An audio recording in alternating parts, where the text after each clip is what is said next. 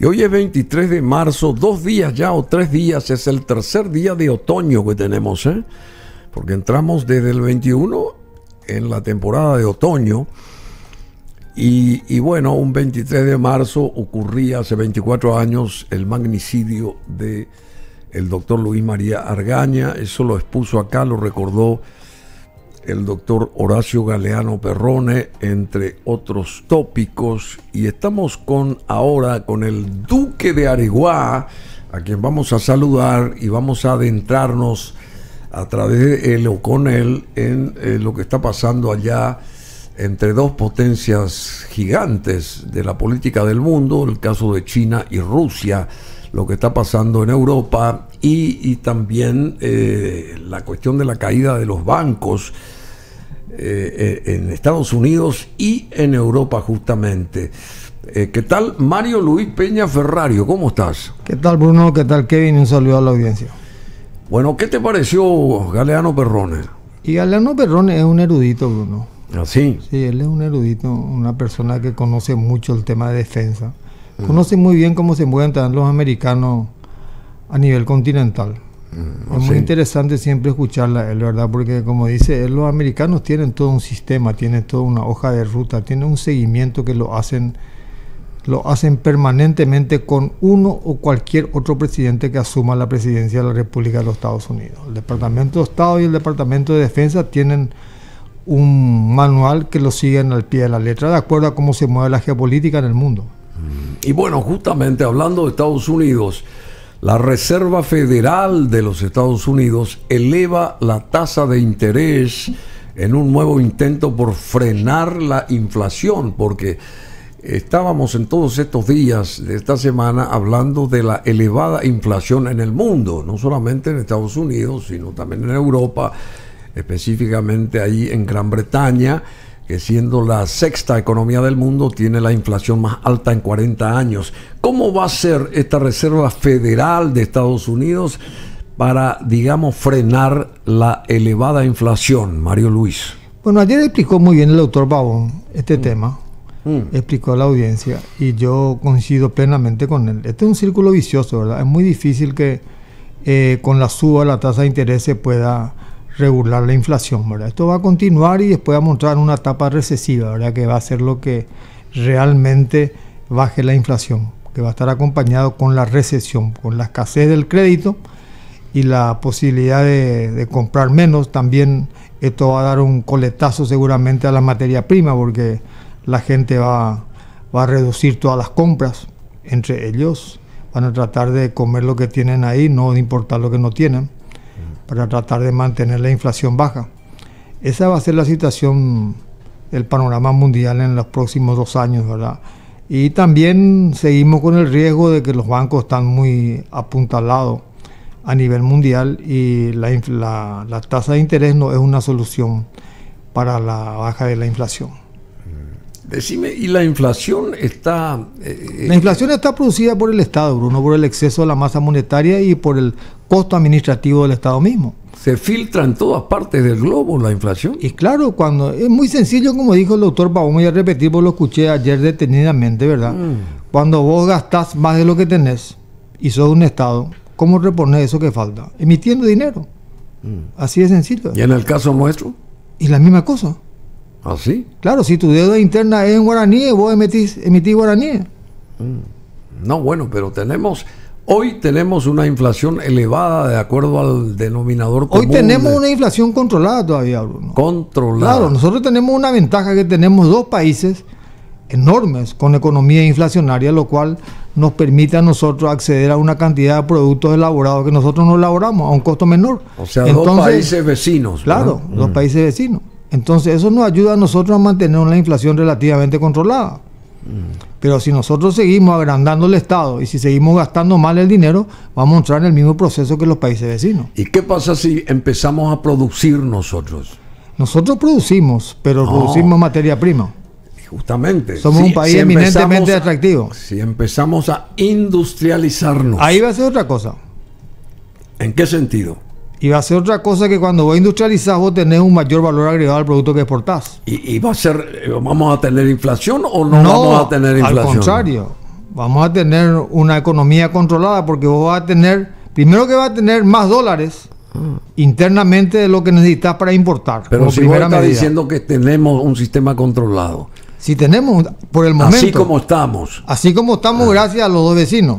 Ah, ¿Y qué pasa si nos empezamos a industrializar? Y bueno, si nos empezamos a industrializar tenemos que ser competitivos, porque si no somos competitivos no vamos a poder competir con los productos al lado. Ah, sí. Sencillo el problema. O sea que hay que direccionar qué hacer y qué no hacer. Exactamente. Vos tenés que producir lo que los otros no producen. O si, si producen, hacerlo mejor. Hacerlo mejor a un costo menor y de mejor calidad. Ah, sí. ¿Y qué va a pasar con la inflación supuesta? Y ahí la inflación... ¿Va a disminuir? va a disminuir la inflación porque vos vas a tener un exceso de dólares dentro de tu mercado, lo cual te va a permitir comprar con esos dólares una cantidad de productos a menor precio y tu inflación va a estar totalmente controlada. Y va a mejorar el nivel de vida de tu gente también. porque va a tener una tasa ocupacional alta. ¿Y qué es la inflación, en síntesis? Y la inflación es el aumento de los productos eh, internos. El costo. El costo de los productos. El aumento del costo de los productos internos debido a, varios motivos externos y a veces internos, ¿verdad? Mm. Por ejemplo, cuando sube el petróleo, automáticamente acá suben todos los productos porque el petróleo tiene un punto de digamos, de un componente muy importante dentro del costo de la producción, tanto de la producción como de la importación y el traslado de los productos. Acuérdate que nosotros somos un país mediterráneo. Entonces eso influye, sube el pasaje, sube todo esto, ¿verdad? Y eso produce una inflación. Y generalmente, generalmente, el salario no acompaña el proceso inflacionario. Entonces a vos te resta menos dinero. Entonces, ¿qué hacen los estados para poder solucionar ese problema? Emiten más dinero para que haya mayor circulante, para que vos puedas tener capacidad de poder comprar las cosas, pero artificialmente. Artificialmente. Bueno, y en un país vecino, acá el país llamado Argentina, la economía de Argentina naufraga, dice, porque eh, Argentina tiene una hiperinflación y también carece de reservas monetarias. ¿Cómo hace la Argentina? y, sigue imprimiendo, por eso tiene una inflación de más del 100%. Sigue imprimiendo. Sigue, sigue imprimiendo pesos, ah. sigue imprimiendo y sigue endeudándose. Ah. Aparte tiene una, tiene una tasa de impuesto altísima, lo cual al productor le resulta prácticamente impracticable producir porque trabaja para el Estado. Ah, ¿sí? ¿Y, por qué ocurre eso? Ocurre eso porque el Estado tiene un gasto excesivo. Mm. Entonces de algún lado tiene que quitar dinero. O con impuestos es con emisión de masa monetaria. Una de las dos cosas. Y bueno, están muy preocupados por el temor a un zarpazo a los fondos eh, jubilatorios allá en la Bueno, el Estado eh, recurre a cualquier cosa, recurre a los fondos jubilatorios, recurre a, la, em, a la impresión de más billetes, recurre a los créditos internacionales para mantener un Estado ineficiente que a la larga va a explotar. Así. Así mismo. No hay ningún secreto. Ayer el, doctor Pavón dio una clase magistral de lo que es esto. Víctor Pavón, sí. que se lanza a la senaduría. Eh, bueno, y, esta terna, digamos, eh, que surge ahora, de la cual tiene que salir el próximo ministro de la Corte Suprema de Justicia, ¿cuál es tu visión? Bueno, yo para mí no tiene ninguna importancia. Eh, ¿Qué cosa que no tiene importancia? Y no tiene ninguna importancia uno u otro candidato que suba como ministro de la Corte, porque la gente no tiene confiabilidad en la justicia paraguaya. Mientras no haya un sistema en el cual la política no tenga injerencia dentro de la elección de los magistrados judiciales, mm. vamos a continuar con el mismo sistema, porque es favor sobre favor, Bruno. bueno, acá tú lo has dicho justamente. Eh, el informe reciente de la Embajada de Estados Unidos en Asunción, hacemos el recalco nuevamente, declara como corruptos a un expresidente del eh, jurado de enjuiciamiento de magistrados y al ex titular de la DINAC. En este caso, el gobierno de Estados Unidos designó hoy nuevos como nuevos significativamente corruptos al ex titular de la DINAC, Edgar Melgarejo Ginard, al abogado también y miembro del jurado de enjuiciamiento de magistrados Jorge Bogarín Alfonso y al funcionario judicial Vicente Ferreira, según anunció ahí en la propia sede de la embajada el embajador de Washington, Mark Otsfield. Eh, estos son nuevos, significativamente corruptos por parte de los Estados Unidos. Eh, y toda esta dilación de la terna se debió también a ese manejo no non santo que lo hizo en su momento Jorge Bogarín Alfonso, evidentemente le echaron ojo y, y lo pusieron su nombre integrando esta lista de significativamente corruptos. De más está decir que Edgar Melgarejo Ginard, también desde la época de la pandemia, con los aviones cargados de productos que, no tienen nada, que no tenían nada que ver o mal, mal, mal organizados, digamos, para la defensa de salud de nuestra población, también fue fichado para que hoy integre este señor ex titular de la DINAC, el listado de significativamente corruptos. ¿Y esto va a continuar? Pero realmente es lamentable que un país extranjero pueda designar quiénes son los corruptos y no los corruptos acá en el Paraguay. Es, un, país que Nosotros en Estados Unidos no hay corruptos. Bueno, hay corruptos, pero designa, ellos los corruptos no designa eh, Alemania ni designa Francia quiénes son los corruptos en Estados Unidos. Ah. Acá nosotros no tenemos la capacidad ni de designar a la persona corrupta dentro de nuestro país. Tiene que venir una potencia extranjera a decir quién es corrupto y quién no es corrupto. Hasta en eso no se, eh, la democracia paraguaya está fallida. Mm. Una vergüenza, pues. Mm. Una vergüenza. Claro que es una vergüenza. Bueno, y en el plano internacional rápidamente se está preparando el viaje de Lula da Silva a China, que promete ser un éxito a corto plazo y que puede costarle caro a Brasil, dice. ¿Por qué? ¿Por qué le puede costar caro a Brasil el viaje de Lula da Silva? Hay diferentes opiniones dentro de Brasil, ¿verdad? Brasil tenía con Bolsonaro un acercamiento bastante a Estados Unidos, ¿verdad? Y ahora eh, Lula está cambiando su política exterior porque también ve que en Estados Unidos no hay posibilidades de hacer buenos negocios. Es mejor hacer negocios con los chinos que con los americanos en este momento y con Asia. ¿Ah, sí? Por supuesto. Por eso que se va él a China continental. Los costos del dinero en el mundo occidental están por las nubes.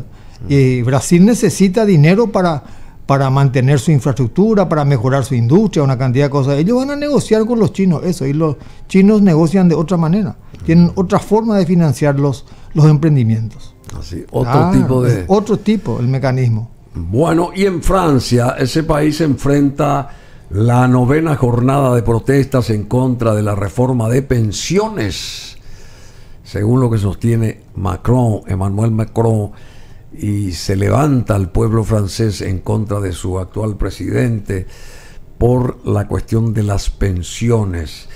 Y en medio de la crisis de los bancos, ya dijimos esto, cuando entró acá el duque de Areguá, la Reserva Federal de Estados Unidos subió la tasa de interés por novena vez consecutiva y al menos cinco muertos y cuatro lesionados dejaron las fuertes tormentas, fuertes tormentas y tornados registrados al sur de California. Y yendo a eh, ahí entre Europa y Asia, de vuelta, Rusia y China refuerzan su alianza y rechazan influencia de Estados Unidos. Este, este encuentro entre Xi Jinping y Putin, ¿qué significa? Y el nuevo orden mundial, ¿verdad? El nuevo orden mundial, un nuevo orden mundial, un nuevo conglomerado de potencias mundiales que se están asociando para contrarrestar la influencia occidental en el mundo. Así de sencillo es. Y bueno, eh, así lo mismo hizo también ya hace, hace unos días nomás la reunión entre el, el príncipe heredero de Arabia Saudita y el y el primer ministro iraní lo hicieron en China continental, lo cual se selló un pacto de cooperación entre ambos países, tanto Arabia Saudita como Irán, que eran enemigos acérrimos, porque unos son sumitas y otros son chiitas. Son tribus diferentes, ¿verdad? Lo cual ya tienen un pacto de alianza para la explotación y exploración de petróleo dentro de Irán y también cooperación de ambos países, que eran enemigos. Y el denominador común es China. Es shipping. China, Xi Jinping. Xi Jinping es el denominador común. Él es el que está haciendo la alianza. Bueno, y en Rusia alertan este país, este país alerta de un mayor riesgo de conflicto nuclear de las últimas décadas, dice. No sé qué va a pasar ahí, che. Y la fiscalía investiga al hijo de Petro en Colombia por supuesto lavado. La fiscalía de ese país informó que está investigando al hijo mayor del presidente de izquierda, Gustavo Petro, por presunto lavado de activos en medio de un escándalo que involucra a, un narcotraficante y que sacude al gobierno del padre, ¿verdad? Eh, al gobierno de Petro.